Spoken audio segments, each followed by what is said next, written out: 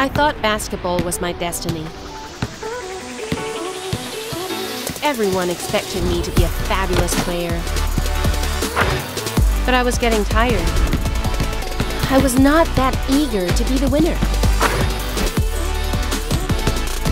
I was about to give up basketball if there had been nobody there for me.